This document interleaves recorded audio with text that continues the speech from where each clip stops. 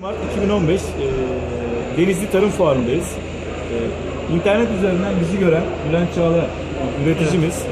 Kendileri bizden ekol gelişim ürünümüzden bir adet denemelik aldılar. Biz de Denizli Tarım Fuarı'nda kendilerini gördük, standımızı ziyaret ettiler. E, 27 Ocak'ta 2015, 27 Ocak 2015'te bizden ürün aldılar ve yeni kiraz fidanlarını denediler. Evet. Kirazlarımız da şu an toprakla alakalı. Ne gibi gözlemleriniz var? Topraklarımız çok sert olma sahipti.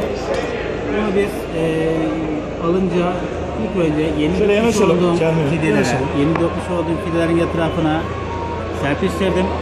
Ve e, yaklaşık geçen hafta içerisinde yani cumartesi pazar günü o ağaçların dibini çapalamaya gittiğimde fidan, toprağımızın yumuşadığını, Yani bu Fidanları- 27 Ocak'ta aldınız. Evet. Bugün 11 Mart. evet Ee, bir yaklaşık- hafta önce gittiyseniz 50 gün 40 gün sürede Evet, değil. evet yaklaşık bir buçuk ay gibi biz zaman sonra ağaçların diplerini çapalamaya gittiğimde toprağın yumuşadığını ve kök salımının biraz daha hızlandığını fark ettim.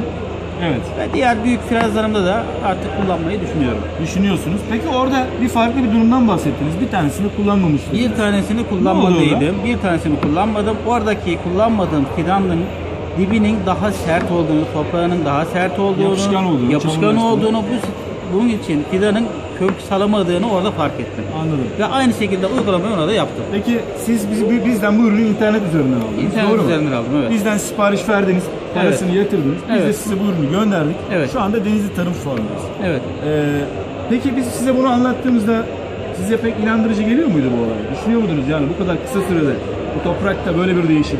Daha Hayır. henüz ağaçlarınız uyanmadı ama Hayır hayır ağaçlarımız yeni yeni uyanmaya Yeni yeni başladı. Yeni, uyanıyor. uyanmaya başladı fakat bu kadar derece inanamadım. hızlı bir şekilde yani. İnanamadım yani o da kadar toprağın yumuşamasına Evet. hayret ettim. Çünkü e, üreticilerimiz bizi izliyor, sizi de izleyecekler. Evet, evet.